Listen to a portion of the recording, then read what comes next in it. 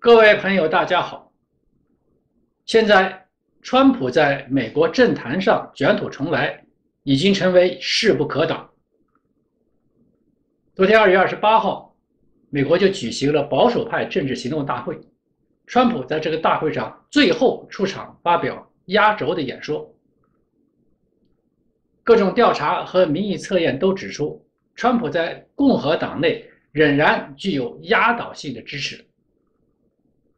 如果现在要决定2024年共和党提名的总统候选人，川普可以轻松地赢得共和党的提名人。川普之所以在共和党内仍然有这么大的人气，这是因为川普有他的思想，他可以提出来川普主义。其他的共和党人没有一个人能够提出来自己的思想或者主义，所以这样他们就和川普就差很多了。另外呢，这一次美国保守派政治行动大会上呢，前国务卿蓬佩奥这些强硬派也都纷纷出席，力挺川普。蓬佩奥很得意的把北京对他的制裁当做他的一个成功来宣传，也就是说，北京对蓬佩奥的制裁反而等于是给蓬佩奥的成了他的奖状了。川普在这一次的保守会政治行动大会上发表了一个半小时的演讲，对现任总统拜登提出尖锐的批评。川普痛批拜登上任以来在边境安全问题、移民政策、能源政策方面等问题上做出了很不恰当的行动。但有趣的是呢，在对中国政策问题上，川普并没有对拜登提出批评。这就有一点好像不可思议了嘛，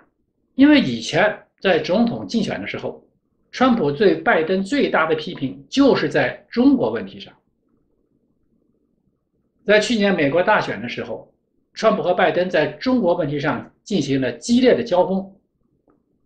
川普抨击拜登对中国软弱，跟中国有利益关系，称拜登是北京拜登，说他是替中国站台。那么昨天，川普在保守党行动大会上对拜登啊，虽然提出了各种各样的批评，但是偏偏没有批评拜登的中国政策。那这是为什么呢？这就是因为这次拜登在中国问题上防守成功了。拜登上任以来，在对中国的问题上，他确实也是保持着一个很强硬的态度，包括是迟迟不给习近平打电话。因此呢，拜登对中国问题上啊，就是说没有有什么东西可以让川普抓到把柄的，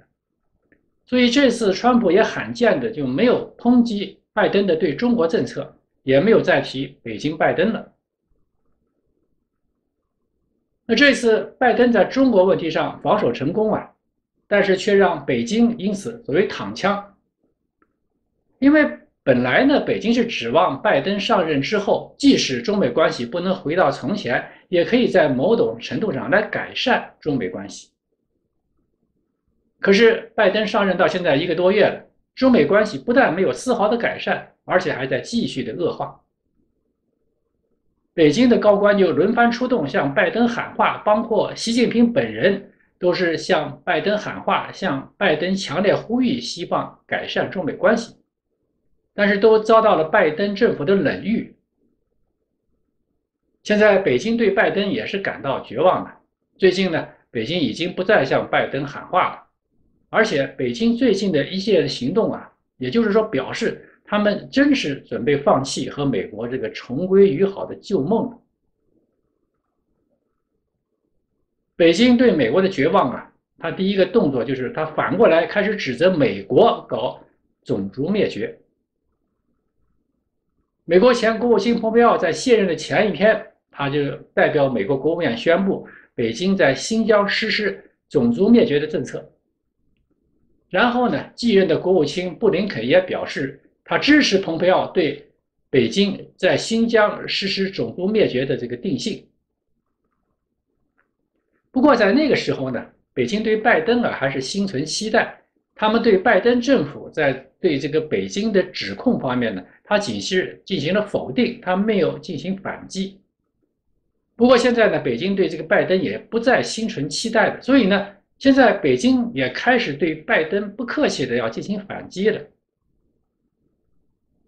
我们回顾一下，拜登在一月二十号上任，当时候一月二十八号呢，美国新的国务卿布林肯就是说，在指控北京新疆地区实施种族灭绝政策方面，他也是赞同了前政府的政策。不过，当时北京外交部战狼发言人赵立坚并没有对拜登政府进行反驳，他只是否认说我们没有干这件事。当时赵立坚所谓的重要的事情说三遍。这句话一时间还引起了中外媒体的轰动。当时呢，赵立坚在说到中国在新疆实施种族灭绝政策的时候，他就说：“重要的事情说三遍，中国没有种族灭绝，中国没有种族灭绝，中国没有种族灭绝。”句号。由此可见呢。当拜登政府要继承川普政府对北京这个实施种族灭绝的定性的时候呢，应该说让北京感到恼羞成怒。但是当时北京对拜登还是抱有那种希望啊，他们叫敢怒而不敢言，只是说否定拜登他们对北京这个搞种族灭绝的指控，但是没有进行所谓的反击，也没有反攻。但是呢，随着拜登政府对北京态度的强硬。北京对拜登也就绝望嘛，他也就不再克制了，也不再什么敢怒不敢言了，他们就开始要公开对拜登政府也开始发起反击了。二月十九号，外交部发言人华春莹说，西方的一些人一直喜欢居高临下跟中国谈人权问题，习惯于在教师爷的位置对中国指手画脚。种族灭绝在加拿大、美国、澳大利亚等国是曾经现实存在的事实。美国通过西进运动大肆驱逐、杀戮印第安人；澳大利亚曾经推行臭名昭著的白澳政策，对土著居民实施灭绝。二月二十五号，外交部发言人赵立坚再次说。这些国家不要忘记他们屠杀原住民的历史，种族灭绝的帽子还是留着他们自己戴吧。这也就是说呢，北京对拜登政府的态度是越来越不客气了，他们要公开的进行反击了。那我们对比一下北京外交部对于拜登政府指控北京新疆种族灭绝政策的回应，在一月二十八号时候呢。外交部发言人赵立坚说：“重要的事情说三遍，中国没有种族灭绝，中国没有种族灭绝，中国没有种族灭绝。”句号。到了二月二十九号，外交部发言人华春莹说：“种族灭绝在加拿大、美国、澳大利亚等国是曾经现实存在的事实。”再到二月二十五号，外交部发言人赵立坚说。这些国家不要忘记他们屠杀原住民的历史，种族灭绝的帽子还是留着他们自己戴吧。由此可见呢，刚开始啊，北京对拜登政府还是心存期待啊，还是比较客气，就是说希望拜登政府能够好像改变现在的中美关系的紧张局势。那么现在呢，北京对拜登已经不再心存什么期待了，对拜登呢也就不再客气了。最近拜登政府的所作所为啊，确实是让北京感到越来越绝望。我们在以前的节目中也说到，拜登政府就计划不顾美国企业界的反对，就要让川普政府制定的对中国高科技的封杀规定，在三月二十二号正式的生效。另外呢，美国的纽约证券交易所在二月二十六号也决定，根据美国前总统川普去年十一月。签署的一个行政命令啊，他们现在要开始正式将中国的大型国有石油企业，就是中海油公司，要进行摘牌除牌。这也表示说呢，拜登他要全面的继承川普总统对北京的强硬政策，用比较文学的话来说，就是川规拜随。美国司法部也继承了川普总统时代针对北京这个抓间谍的行动。最近呢，美国司法部表示发表声明，他就说啊，居港的中国商人吴志荣因涉嫌偷窃美国通用电气公司的商业机密被起诉。拜登政府呢还要继承川普政府严防北京军人来混入美国高校的政策。现在，美国政府的一个国家安全机构就提出了措施，要旨在防止中国的军人混入美国的高校。由此看来，拜登在各方面就要继承川普对中国的强硬政策，那么川规败随已经成为了事实。而且，拜登自己啊，他也要展开一个新的对北京的经济攻势，他签署了一个强化美国供应链的一个总统令。就是要支持美国的半导体、药品，还有其他尖端制造业技术。拜登这个强化美国供应链政策呢，其实呢就是过去川普总统让美国制造业回归的政策，只是说法不一样，换汤不换药。拜登说要强化美国的供应链，其实就是针对中国吧，他要减少美国对中国产品的依赖。这对于北京来说，拜登似乎就是准备要对北京发起另外一种形式的贸易战，特别是这次拜登提出要在世界范围内要建立一个美国为首的叫做供应链安全联盟，而且在这个供应链安全联盟当中，很可能把台湾也正式吸纳进来作为正式的成员。目前台湾在芯片制造这些高端产业方面呢，它确实还是有很大的实力。如果拜登政府把台湾正式吸纳到美国这个安全供应链联盟里面，不仅可以大大提升台湾的国际地位，而且也可以使台湾成为一个美国不可缺少的伙伴。这样一来，美国在台湾问题上就不单纯是为了要去保卫台湾问题，保卫台湾就成了保卫美国自己的供应链，就成了保卫美国自己了。因此呢？如果是这样的话，美国对中国大陆对台湾的威胁态度啊，那完全就会不一样了。北京对美国的政策呢，曾经啊，他们很乐观的认为，这个中美关系只要上拜登上台之后，马上就会有很大的松动，那以后中美关系就好办了。可是现在拜登上台之后，中美关系不但没有松动，而且还在继续的恶化。那么北京当然对拜登也就感到绝望。那么北京对拜登绝望之后，那北京这个对美国的政策方针它怎么办呢？美国对拜登新政府他们应该有个什么样的方针政策呢？可以说在这个问题上吧，现在北京是一个傻眼的一个状态，就是说他们不知所措，不知道该怎么办。不过呢，当前北京的强硬派是有所抬头，强硬派就认为呢。不管美国谁上台都一样，中美关系已经是不可能走向好转了，只能是越来越糟糕。那在这样的情况下，北京对美国再做什么退让就没意义了吗？所谓伸头也是一刀，缩头也是一刀，美国这一刀，北京是躲不过去了。那么现在北京就考虑是不是对拜登，我们也要采取一个强硬的对策。那北京对拜登采取强硬对策，它的方法之一呢？就是不停的要制造各种的军事的紧张局势，就是故意要给拜登政府制造麻烦，让拜登感到紧张，试图用这个办法来让拜登政府感到害怕，从而对北京让步。